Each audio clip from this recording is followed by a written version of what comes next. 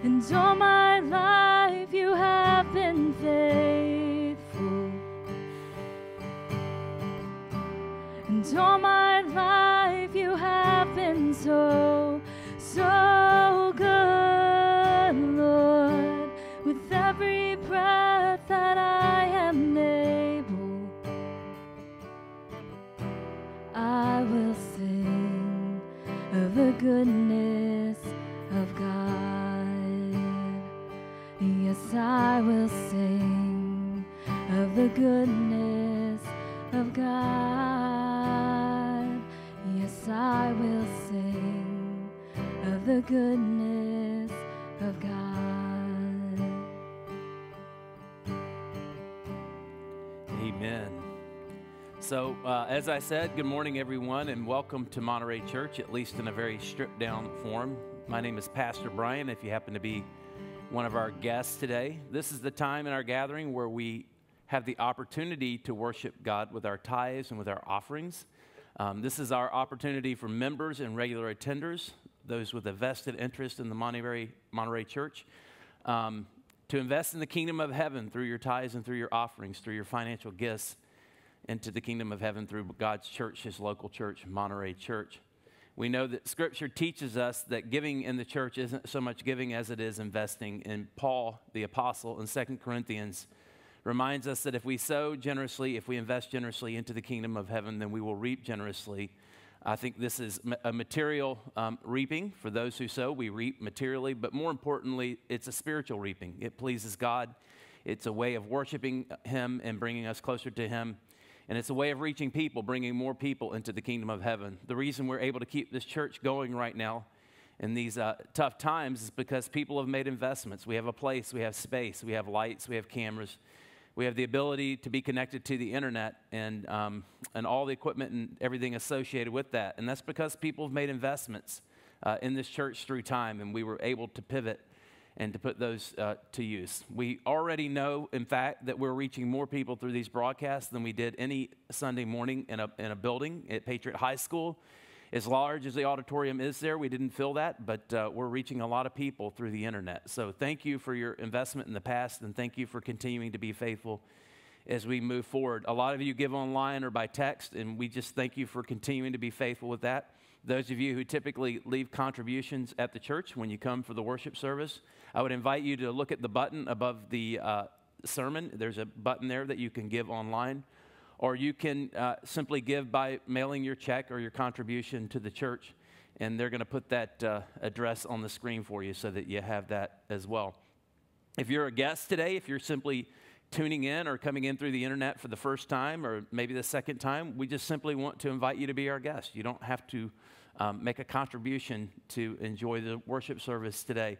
We would love to know that you tuned in. We would love to know that you're out there. So if you can text us your text number so that we can keep you in the loop and give you information about the church, or text or email us your email address, um, that would be great as well. So our text number and our email number will be on the screen there for you. And so please text us or email us your text or email so that we have you in the loop. Also, you can use that text number to send out questions, prayer requests, um, anything urgent you might need. And of course, you can email us anytime those types of requests uh, as well. Let's pray. Heavenly Father, we love you. We praise you. Uh, we, again, we thank you for the opportunity you give us to participate in the kingdom of heaven. Uh, this is your kingdom, and you are powerful, and you are sovereign over all of it. Um, and you could certainly do what you want to do without us, but you give us the opportunity to participate with you. You don't close your kingdom, you open it. As a matter of fact, you opened it through your Son, Jesus Christ, so that we might all come in and that we might all participate in the blessings and the abundance of the kingdom of heaven. At a time such as this, when so many things in our world seem so uncertain, the ability to exist under the covering and the protection of your kingdom is extraordinary. And I thank you and praise you that though things in this world seem so uncertain, things to you are so certain. And we have so many incredible promises given to us, not just for eternal life, but life on earth even before heaven. And I thank you and praise you that as you inspire us to give, not out of compulsion, not out of get, not guilt, not out of uh, the pastor, you know, making us feel guilty and give today. As we give because we're inspired and because we believe, these gifts will be a blessing to you because it shows that we love you, that we are grateful to you, and that we trust you. They're a blessing to us because they allow us to sow and to reap generously in the kingdom of heaven. And they're a blessing to so many others because they are used. This is the resources, the investment that you use um, to reach so many people with the gospel, with the truth uh, about your kingdom, about your son Jesus, and about so many other things. So thank you and praise you for the incredible opportunity we have today, even in a time such as this, through technology, to continue to participate in the kingdom of heaven. Uh, by worshiping you with our tithes and our offerings. Take these offerings, bless them, and multiply them. Use them for great things in the kingdom and uh, to bless every single person that comes under the covering of this church. We love you and praise you. Amen.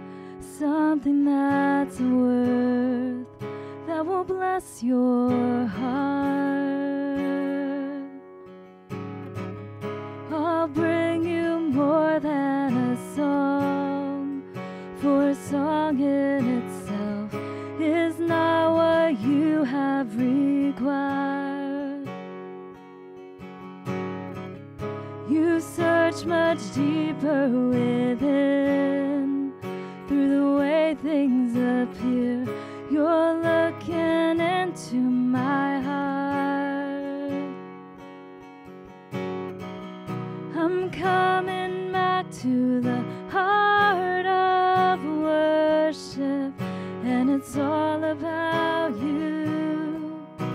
It's all about you, Jesus.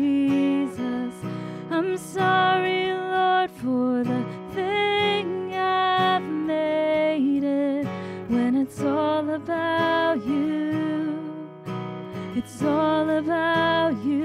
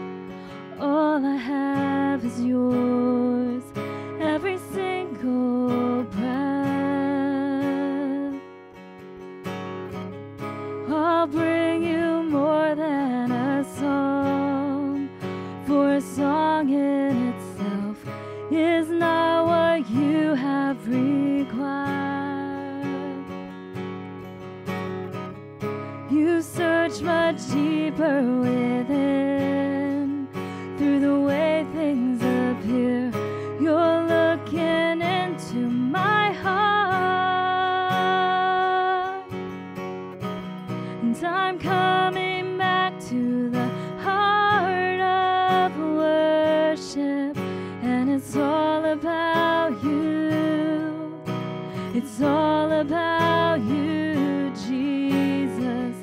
I'm sorry, Lord, for the thing I've made it when it's all about you.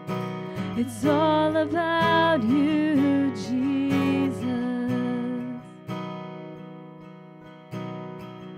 I'll bring you more than a song. I'll bring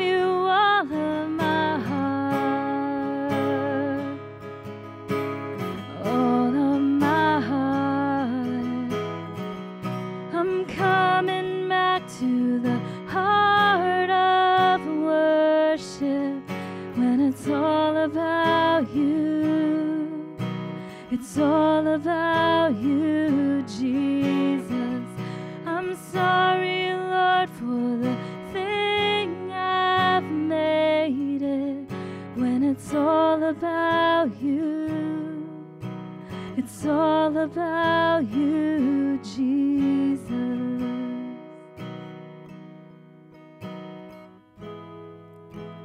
Amen. Let's pray. Heavenly Father, we do. We love you. We praise you. And again, we thank you for the opportunity we have to be with you today. Jesus, we do indeed um, desire for this to be all about you today, our worship to be all about you, not to be about us, not to be about me, uh, not to even be about the church so much as the leader of the church. Uh, Jesus, you yourself, your ministry, your word, and what you desire and what you have for us. Lord, I pray that your Holy Spirit would be alive and well in this place, in this space, and upon me and in my heart. Uh, anoint me to teach and to preach your word. I don't really care to be eloquent today, dear God, or preach in such a way as it makes me look good and listen me up. I pray that I would preach in a way that is clear and understandable, that lifts your precious people up and brings them closer to you, and that lifts you up, that glorifies you. I pray also that your Holy Spirit would be in these many different places and spaces so that as people hear my voice, hear your word um, taught uh, and preached today, that they would have the capacity to hear it, to believe it, to understand it, and even know how to respond to it. I pray that you would take my words and you would make them perfect by the power of the Holy Spirit between my mouth and their precious ears. And I pray that you would even add words, dear God, that your voice would get involved in the communication and you would speak directly to the heart of your precious people. We ask for nothing less than this incredible miracle. And we know that we don't need to do this in a puffed up way. A humble way is just fine but just clear, intelligible words that are powerful and authoritative, landing in the hearts of your people uh, and staying there, uh, being planted deeply so that they can produce the fruit that you desire for them. Lord, I pray that as I teach and preach today, you would draw your people close to you, and those that are hurting the most today, those in the greatest need, would find hope and they would have, find peace and joy beyond all understanding. I pray, dear God, even as I teach and preach today, not necessarily on miracles, that you would do miracles anyway. As people seek you first through your word and the teaching today, that you would come into their life and come into their existence, that you would heal them physically, mentally, emotionally, spiritually, uh, relationally, and um, in, any way, dear God, that they, they may need you the most today. Uh, we don't want to forget that the people on the other side of this um, have many needs, including the pastor here standing here today himself. And so meet our needs as we seek first your kingdom through this word. It's in Jesus' name we pray. Amen. We're continuing uh, the series today that we were in before all of this broke out, before the coronavirus thing broke out, and we've been off for a couple weeks doing some other subjects and some other teachings. Uh, but we're going back to Matthew chapter 6 this week, which is where we left off. If you want to look it up, it's Matthew chapter 6, verses 1 through 8. Uh, if you don't want to look it up, then I think the scriptures will be on the screen, so they'll be right there for you to see.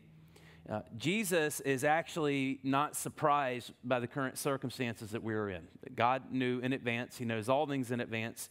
He is sovereign over all things, and so He knew where we would be at such a time as this. And I believe that where we are in the Gospel of Matthew, and specifically in the Sermon on the Mount, and specifically in the preamble to, or the teaching that precedes the teaching of how to pray through the Lord's Prayer, is exactly where we're supposed to be. This is kind of our foreordained place to be because, as we heard a couple weeks ago, our response as the church, as the people of God, to this crisis, to this thing that we're going through, is first and foremost to be spiritual.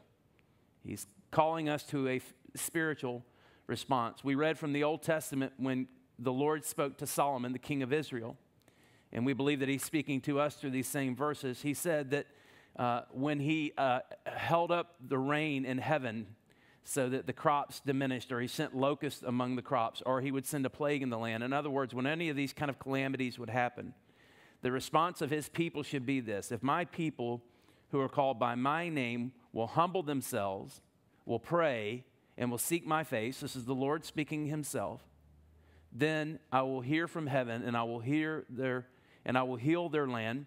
My ears will be attentive, my eyes will be open to the prayers offered by my people. So that's me paraphrasing Second Chronicles chapter 7. So how wonderful of a time is it for us to be in a section of scripture, the teaching from Matthew 6 about how to pray. Now, we're not actually going to get into that section today. We're going to be in the section just before that.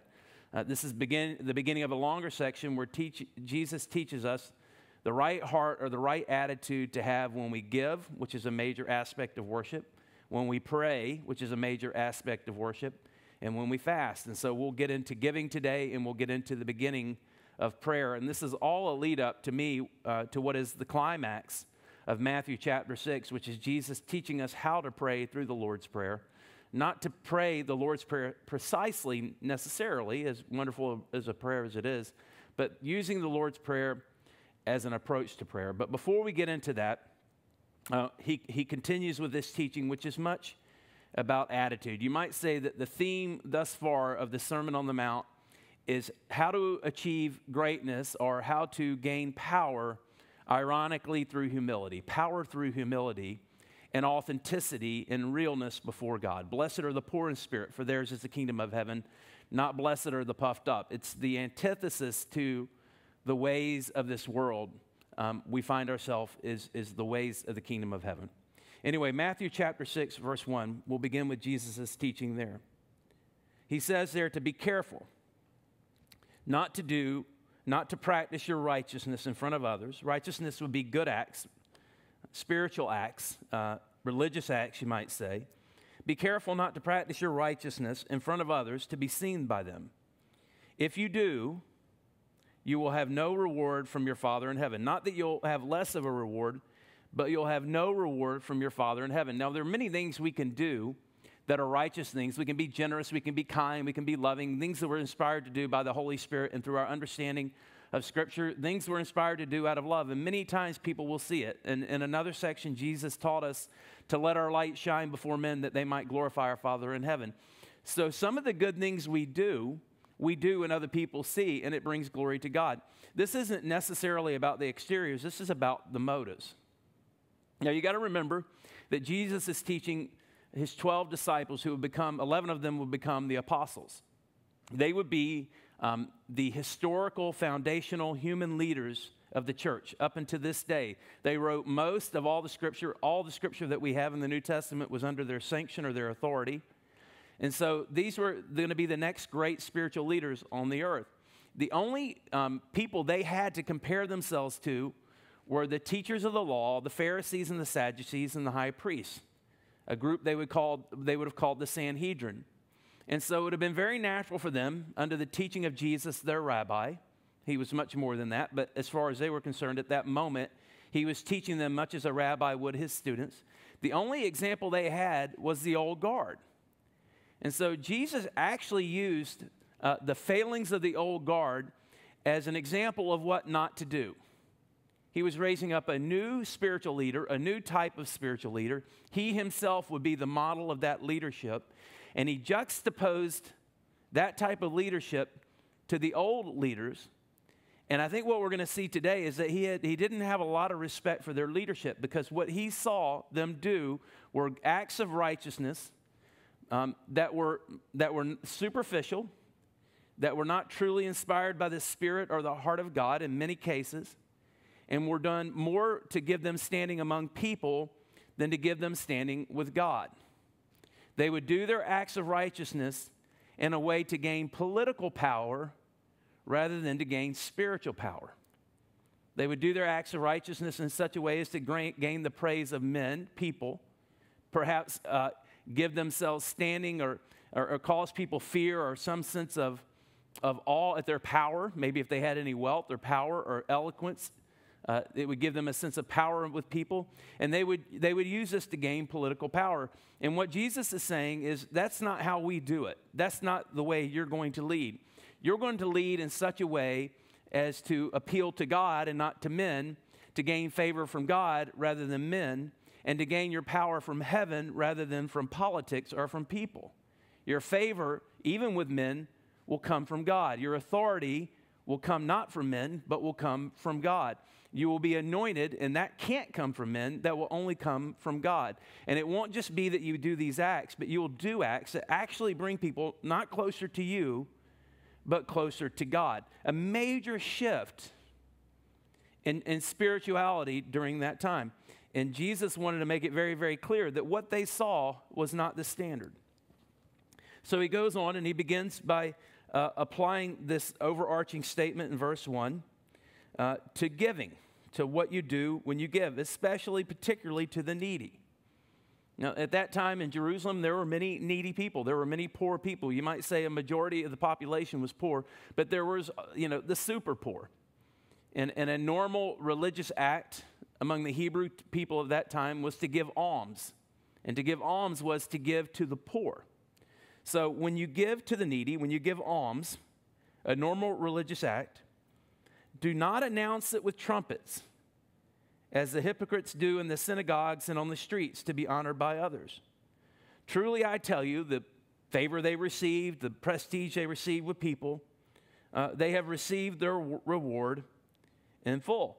Now, what Jesus is saying is instead of giving these gifts to the poor as an act of worship to God, they're giving these gifts to the poor in order to gain worship for themselves. They're leveraging these gifts again to gain political power among the people.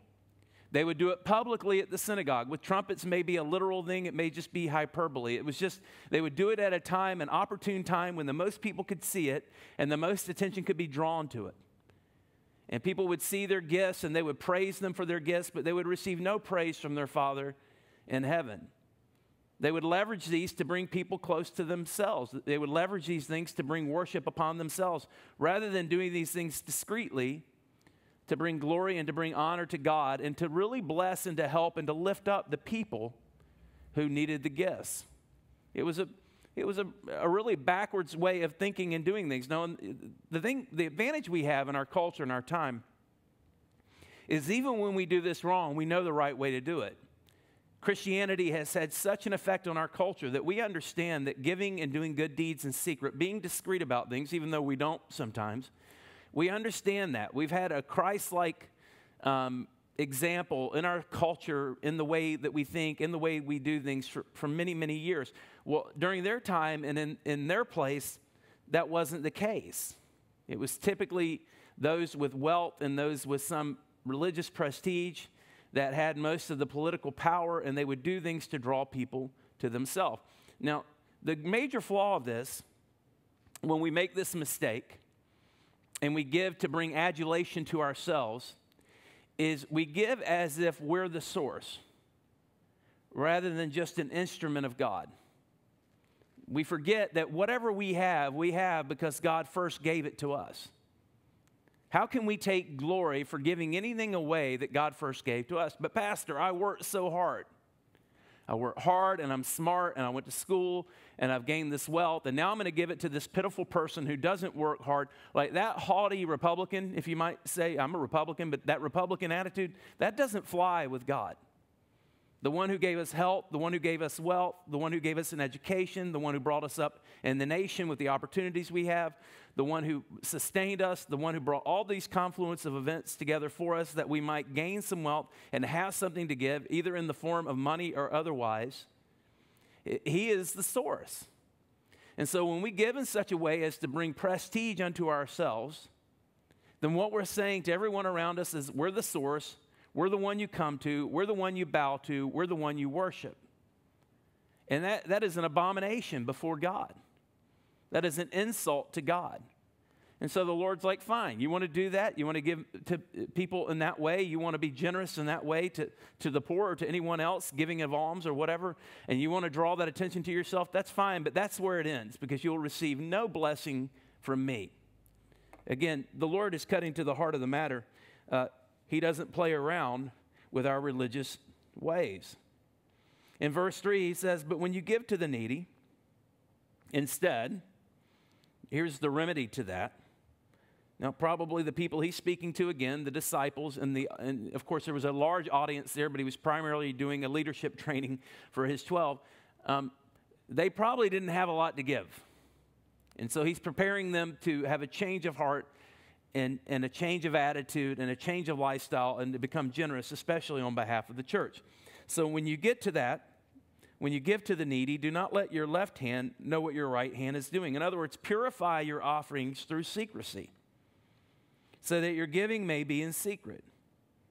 Then your Father, who sees what is done in secret, he'll reward you. Now, that's what we're after. We're not after the reward that can come through men, we're after the reward that can come from God. The, the reward of men, the praise of men, the loyalty of men, even the power that humans give us is just temporary and it's flawed and it's, it's, it's not as good. Whereas the favor and the authority and the power and the loyalty that comes from God begins on earth, it increases through time, and it lasts forever. We want the blessings that come from God. The, the help or the support of men is worthless. And so Jesus is saying here you need to purify your offerings through secrecy. And, and really recognize that when you make an offering to the poor, you're really making an offering to God. In another place, Jesus says, As you do unto the least of these, you do unto me.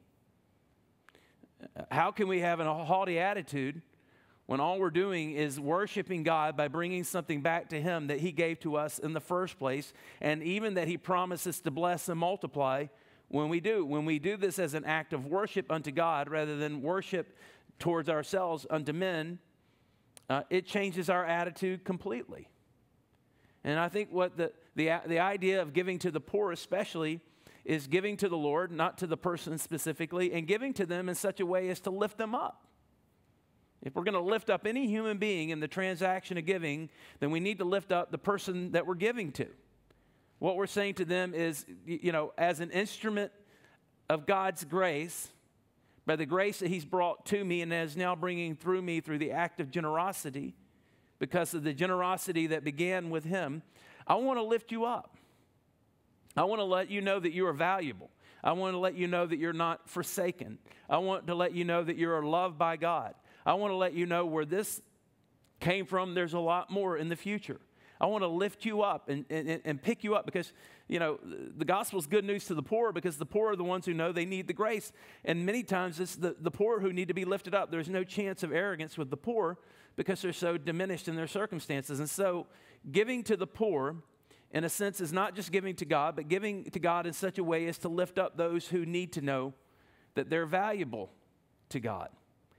And to do it in such a way as not to lift up self, but to diminish, to diminish self as a servant in the process. One of the things that we've experienced when we go overseas with Compassion International to, um, to serve the poor, as it were, is that uh, we, we recognize immediately when we get there. The first thing that happens is we go into one of these foreign countries where everyone is poor, and we go to, we've made investments and we go to make further investments, and they're not that much money, but they're a lot of money to the people that we invest in. And the very first thing we recognize when we get there is that, man, there is nothing to be prideful about. We feel quite humble. As a matter of fact, what we recognize is what the scriptures say, which is that God has chosen those who are uh, poor in this world to be rich in the spirit. And it doesn't take very long for everything to pivot and everything to change around and for us to recognize that we aren't the exalted ones. We are serving those who are being exalted. If there's anyone uh, that should receive more honor, it, it's them and not us. And of course, they treat us with great honor, but then we reciprocate and we treat them with great honor. And really, it's, it's, it's quite something, it's a quite humbling event um, this idea that we would give in such a way as to win favor is a very worldly idea. It's not the way the kingdom of heaven works. And this entire Gospel of Matthew, really the entire Bible from Genesis to Revelation, is teaching us how to leave the world, which is forsaken by God, and enter into the kingdom of heaven, even on earth, right? The world isn't the earth, a place where we receive the favor and the power of God and our attitude in everything we do, and even the religious things, and I would say especially the religious things, such as giving, is absolutely essential to walking in that door. If you hear these words of mine today and you're able to understand them, intellectually understand them, believe them, and receive them, and abide by them, I want you to know that you've received a great gift. You've been washed in the blood of Jesus Christ and you've been filled with the Holy Spirit. He's given you the ability to see and perceive the ways of the kingdom of heaven. And now it will go well with you if you can abide in them. Now we move on to prayer. And it's the same attitude in prayer as in giving, it's the same attitude in everything that we do before God. Even the religious things, such as giving and uh, prayer and fasting is the section we're going to be in today, but it's the same principle in everything we do. Everything we do before God, if we do it with the right heart, is worship before God. And this attitude, this humility pervades uh, all things. In verse 3, it says, But when you give to the needy, I'm sorry, verse 5, it says, And when you pray, do not be like the hypocrites. That word hypocrite is interesting. In, in the Greek, uh, it reads much like a play actor. Don't be like an actor. So when you pray, don't be like the hypocrites. For they love to pray standing in the synagogues and on the street corners to be seen by others. Truly, I tell you, they receive your, their reward in full. If we go back to verse 2, it says, When you give to the needy, do not announce it with trumpets. Let's ch- change that a little bit, and then we'll go right back to where we were so that you can see this kind of in context, uh, in words that maybe help you understand. When you give to the needy, don't announce it with trumpets as the hypocrites who are the actors. Don't announce it with trumpets as the actors do when they perform in the synagogues and on the streets. If we go back to verse 5, when you pray, don't be like the actors who love to perform. They love to pray as a performance, standing in the synagogues and on the street corners. That's their platform and that's their audience, people, and not God. Truly, I tell you, they have received their reward in full. Don't, don't be like the actors. Don't act. Actually, talk to God. Prayer is speaking to God. The actors came out with their pre prepared prayers. And they would go to the synagogue and they would go out in the street corners and they would go where the people were and they would go where the crowd were and they would have these wonderful, flowing, eloquent prayers that they had worked on probably for days and for hours and rehearsed many different times, just the way an actor would before they came out on the platform to teach and to preach to act, to do Shakespeare or whatever. There are many actors in the church. I pray that I'm not one of them. By the way, this is an incredibly convicting section for, for pastors. The Lord doesn't want us to stand up here and act.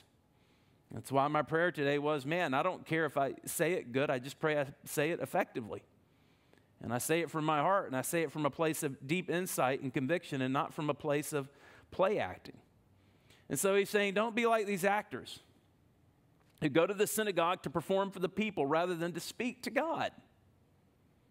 And they may have eloquence and the words may sound good and they may sound smooth and they may draw the applause of the crowd, but they don't draw the applause of God. That is not the essence of prayer, not even close to the essence of prayer.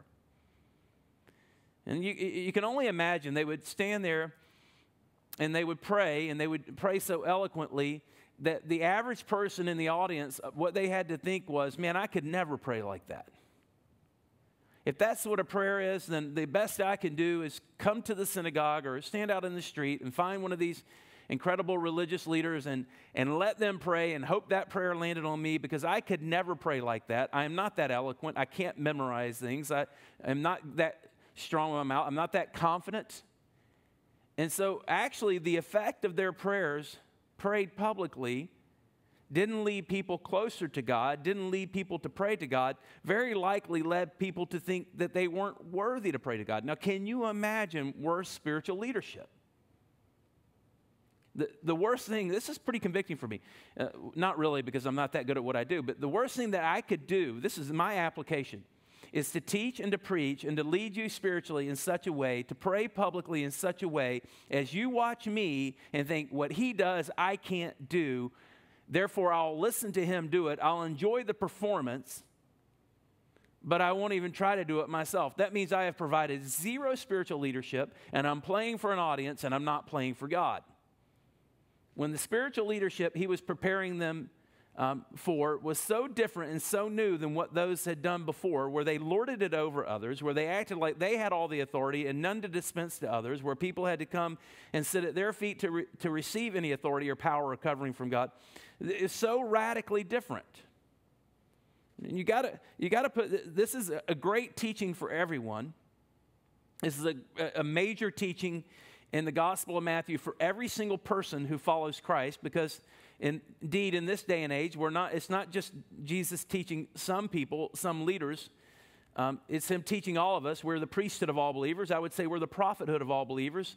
And so it's obviously important for all of us, but we have to remember, we have to put this in the context of what Jesus was doing is He was doing some leadership training. And he was preparing his apostles to lead others, and then he was going to prepare them to lead others as he had led them and, and, and on down the line. And so, uh, what were they really doing? They were performing. I think Jesus made it very clear in many different places in many different ways, and he may have not been speaking universally about, about the spiritual and religious leaders of that time, but prominently, these people were doing this as this was their politics. This is their way of control. That's what religion is when you're a religious leader is not necessarily a spiritual leader. A religious leader is someone who binds the people up, controls them for political type purposes. We see that throughout history all the time. It gives the church so many times a bad name. I know so many people that won't come into the church because that's how they perceive us. And sometimes that's fair and sometimes it's not fair. But that's what we've seen throughout history. And Jesus was like, no, we're doing something radically different. We're going to empower, not disempower. We're going to give power. We're not going to extract power. And we're going to do everything before God and not before each other. Horrible leadership. So he offers the remedy. He says, So when you pray, or but when you pray, instead do this uh, this one's ext- extreme. Go in your room. Go somewhere private. This is where we get uh, that word room could actually be called closet, and this is where we get the little phrase we use um, in the church to go into your prayer closet. Go into your private place with God. Go into your room. Close the door and pray to your Father who is unseen. Then your Father who sees what is done in secret will reward you. Again, purify it through privacy. Just like you did with your gifts, just like you do with your offerings. Do your deeds before God, don't do them before men. This shows that you believe that God, who is unseen, sees, and He rewards those who diligently seek Him. Purify your prayer in this way. The audience that we're ultimately all playing before is the audience of one, the audience of God. Now, at such a time as this, in our, in our history as a nation, with everything that's going on, but at all times, I would say, because we always have things that we're struggling with and we're dealing with where we need God's help, we need His power, then praying in such a way as to receive the attention of God, where His uh, ears are open, His eyes are attentive, His ears are attentive, and His eyes are open, is absolutely essential. It is absolutely essential that our prayers be effective. Absolutely. We're looking for transcendence. We're looking for power from heaven to come upon the earth. Jesus and the teaching that we'll get into the very next time we're together begins right at the beginning, not at the exact beginning, pray, teaches us to pray that his kingdom, heaven, would come to earth and that his will would be done on earth as it is in heaven, in and through our lives and all around us and upon us. We're seeking this transcendence, this authority, this power, these blessings, this wisdom that comes from heaven. It's essential that it be real. It's essential that it be effective. It, absolutely critical. It must be. I, I love where we are right now in this stripped down form of the church because if you're sitting there today watching the sermon, you must be seeking God because there's absolutely no social reason for you to go on the internet and watch a sermon and worship in the awkwardness of the moment unless you're really hungry for God. Because there's nobody to see and there's no way to be seen. It's not socially expected of you. No one's going to know. Everything you're doing, if you made an offering today, it was done in secret. If you stood in your worship today, it was done in secret. If you're listening with an open heart today, it's being done in secret. If you're praying today, it's being done in secret. It may be awkward, but it's secret. You're in your room, you're in your closet, the door is closed. The only one who sees you is God. What a great time to receive this teaching. And, and, I tell you, the great thing about that is not just that you look good before God, it means that you have the attention of God, which means you have sought and found the face of God, which means you have tapped into the power of God. And indeed, now through this transcendence, through this openness, through this pleasure He has with you, you have the capacity not just to send up words and actions before God, but to receive words and power from Him, transcendence. Now, that's another aspect of what He was preparing his disciples for in their leadership that the current leadership didn't know anything about. Now, there was a period just before the ministry of Jesus of 400 years where the Holy Spirit or the presence of God, it, it was almost impossible to be found. They call it the intertestamental period, the, the, the, period between the end of the Old Testament and Malachi and the beginning of the New Testament and the Gospels. There was a 400 year period in history. They call it the intertestamental period. It was like the dark ages spiritually for the Hebrew people, for the world. God quit speaking. There weren't anointed kings, there weren't anointed prophets, there weren't anointed priests. The Spirit of God had gone, and, and, and, and it ended with Malachi, and it, and it reignited with the prophet that we call John the Baptist, and then it continued through the teaching of Jesus, and then it has continued through history, through the body of Christ, uh, in the wake of Christ. But there was this period where everything went quiet and everything went dark. And they had the scriptures and they had their traditions, and some of these were wonderful and very, very good, but all they could do is recite them. It didn't come with the richness of the presence of God. And so the prayers offered, these eloquent prayers offered, uh, they might as well just offer them to people because it didn't seem to ever make it into the presence of God. And, and, everything they did was based on tradition and memorization and religion and all of these things. And that's what's the nature of, of their leadership. It would have been, been silly for them to sit in their room and do it. They needed to do it before an audience to have a, a purpose to it at all. I mean, it was just a, a very different, dry spiritual time. But Jesus is preparing them for the day uh, when his spirit would come and it would anoint them from the least to the greatest. And in the old days, even when the Spirit of God was, was working well among the people, there were very few that were truly anointed. Kings were anointed with power and wisdom and the ability to protect their people. Prophets were anointed to bring the word of God. Priests were anointed to be intercessors on behalf of the people of God. And at different times, at various times, in various ways, the Spirit of God would come upon certain people to communicate uh, through them on behalf of all the people in wonderful ways.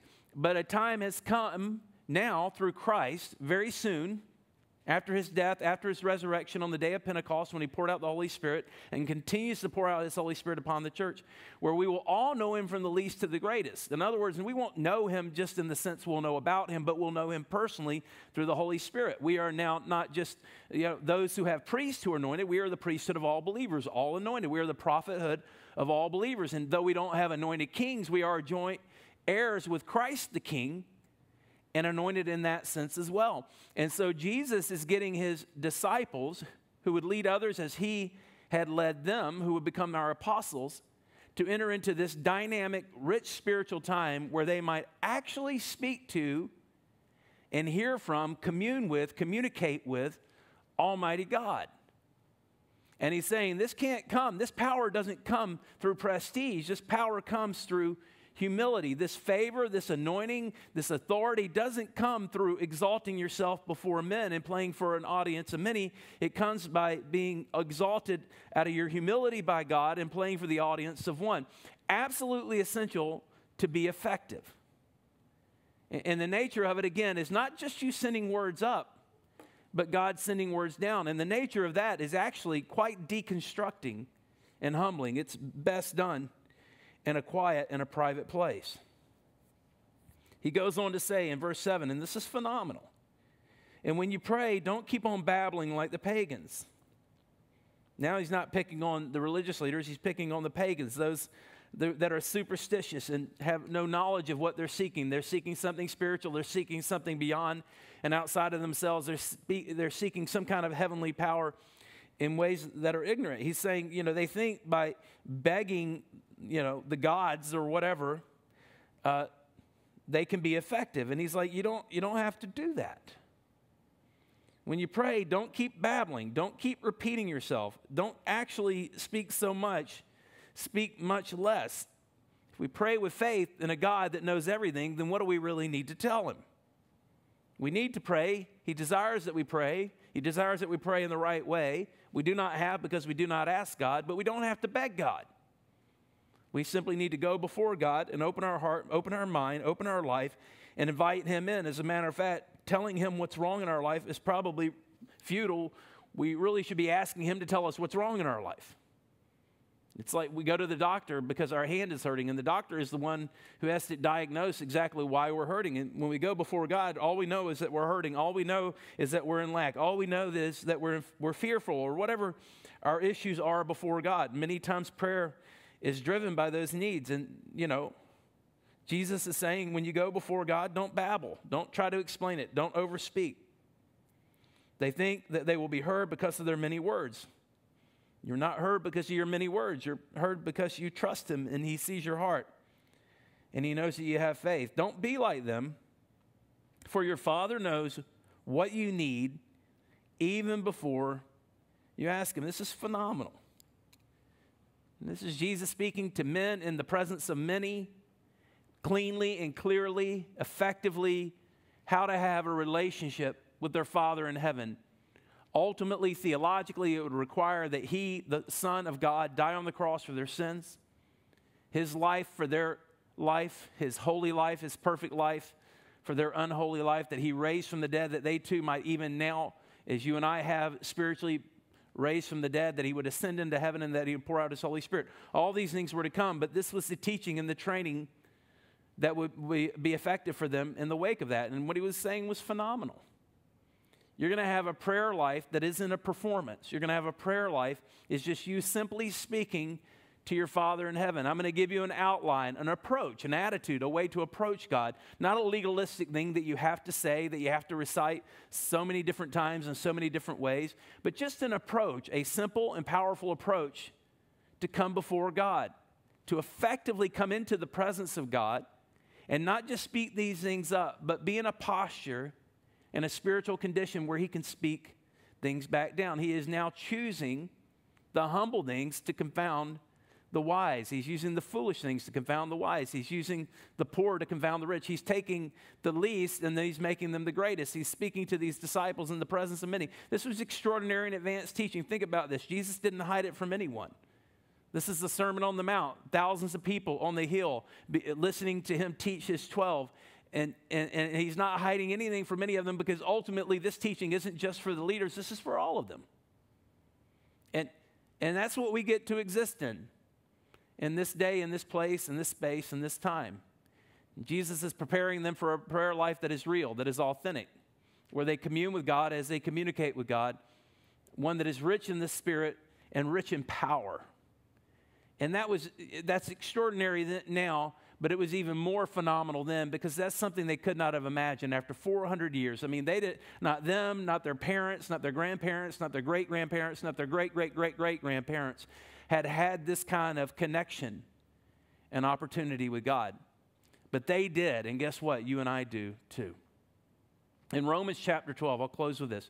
In Romans chapter 12, the Apostle Paul says the best way to hear from God, the best way to be able to know what God is saying to you, to hear, to believe, to receive, and ultimately to obey, to be able to test and approve His good, pleasing, and perfect will. The way to do that is to go before God as a living sacrifice, humble, submitted, and surrendered to God. Now, that is something to me that is most effectively done not in church, certainly not in the synagogue, which would be our church, not on the street corners, not before an audience, not your pastor standing on the platform before a camera I'm not saying that it's impossible to have effective, deep prayers with other people, especially if they have that same posture with you. That can be quite powerful and effective. But maybe the best prayer is those that we pray in our D groups, and our small groups, and those that we pray, pray honestly and humbly with our husband or our wife and our kids, and those that we pray alone. And in, in, in, in this posture, this humility, where we close the door and we maybe even get down on our knees because it just puts our heart and our mind in the right place. And we just open our heart and we can pray with all of our heart Thy kingdom come and thy will be done. Not just globally, but in the circumstances I currently exist in, in my life, in my times, in my ways. Uh, come and speak your will. Let me know what you're doing. Let me know what you think. Let me know what you think the problem is. Let me hear from you and respond to you. There should be incredible optimism in the midst of that humility. To me, Second Chronicles 7 speaks of terrible and tough times, but then it gives a prescription. It gives the, the way to receive the solution or the remedy to it through prayer, through humility, through seeking the face of God, through hearing from God, being responsive, turning from our wicked ways and then praying with credible, incredible power. And so when we're being stripped down, when things are tough, when things are so tough and difficult that we're finally in that place that we're willing to bow down and surrender and submit entirely to God, that's, that's a moment of incredible anguish sometimes, but it is also a moment, if we think about it, of incredible opportunity and optimism. Because we know that God does not resist such a soul. He draws near to the brokenhearted and He gives wisdom, He gives words, and we know that His words, they're, they're a done deal. His words come with power. They never return void, they always accomplish the purpose for which they've been sent out. When you're in that place of brokenness, when you're in that place of not performing for the crowds, but just performing for the audience of one, going into the presence of God, knowing that you need Him, and knowing whatever He says, His wish is your command, that is a very, very powerful place to be. And it sticks with the theme of this entire, of this entire teaching, which is receiving power through humility. Let's pray. Heavenly Father, we love you. We praise you. We thank you for your word. We thank you for your spirit. We thank you that you spoke today through this very um, normal human pastor who is not superior to your precious people in any way. You called me to lead your people not because I'm so much like you, but because I'm like them. You didn't call me to stand here today and to be eloquent. You called me to stand here today and be clear and to speak an effective word. Something that reaches people right where they are in their room with the door closed before their Father in heaven. I pray, dear God, that these words landed, that you took imperfect words and you made them perfect by the power of your Holy Spirit, and you brought your people very close to you. And you gave them a heart to pray and to seek you, perhaps with an understanding they didn't have before, a deeper insight that they didn't have before. Lord, I pray that as Ton sings this last song and we close our time together in worship, that you would give your precious people the wisdom to to close the computer or turn off the phone and just spend a few minutes on their own praying in just the way that has been described through this passage today. No time like the present. Lord, I pray that we would come privately to you. We would bow down. We would surrender our life, surrender our heart, that we would pray with great boldness that your kingdom would come and your will would be done in and through our life, through our circumstances, on earth, right now, in time, even before heaven. I pray that the grand finale of this uh, worship service would not be this last song or this last prayer or the dismissal, would be, but would be the prayer that your precious people make in many different places, um, even at different times, dear God, where they receive from you a word that they can live by, that they can trust, that they can hold on to, that they can obey, and receive you, keep your, and hear, experience you keeping your promises and pouring out your power onto them. We love you and praise you in Jesus' name. Amen. Great is thy faithfulness, O God, my Father. There is no shadow of turning with thee. Thou changest not thy compassions, they fail not.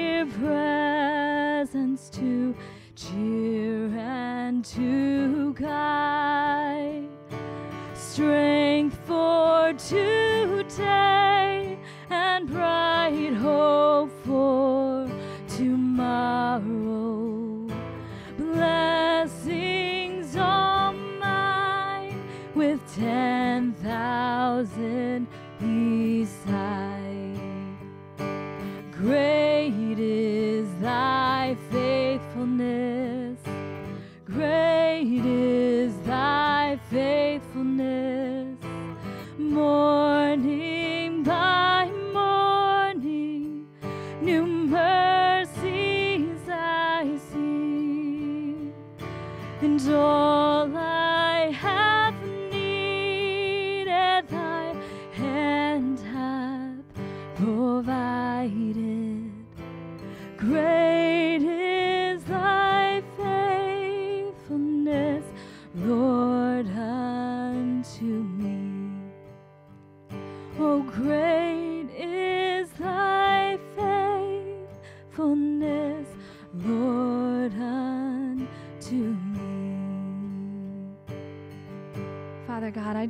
for your presence today. I thank you that you meet your people exactly where we are. I thank you that you are faithful, that you say that all who come to seek you with a pure heart, that we will see you. So, God, we just thank you so much for sending your spirit. And we desire to walk with you moment by moment in these next days. It's in Jesus' name we pray.